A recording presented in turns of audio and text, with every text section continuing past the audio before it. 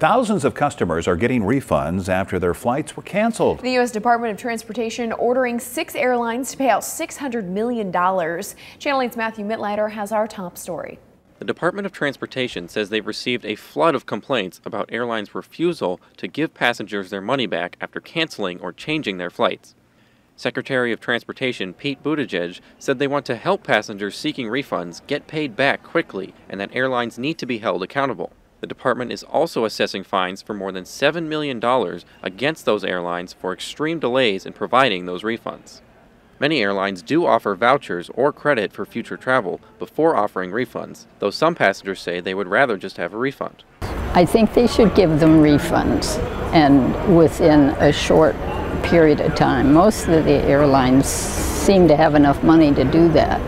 So I, I don't really understand why they why they don't rather than just giving them vouchers.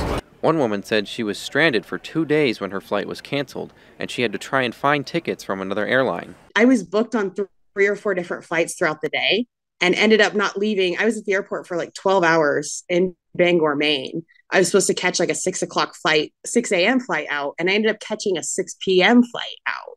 Hillian said during her hectic trip, she was offered hotel vouchers to stay the night and credit for other flights rather than a refund. In my situation, they were able to get me home eventually. But at first, they had only offered me the one night. They said, I can only give you one night voucher, but they stranded me for two days. They all need to be held to a standard. Better business practices. That's it's unfair and we're really at their mercy. The Department of Transportation says airlines and ticket agents have a legal obligation to refund customers if their flight is canceled and they want a refund. They also say it's illegal to instead provide vouchers if customers don't want them. Currently, the only domestic airline being ordered to give refunds is Frontier Airlines. The rest are all foreign based carriers.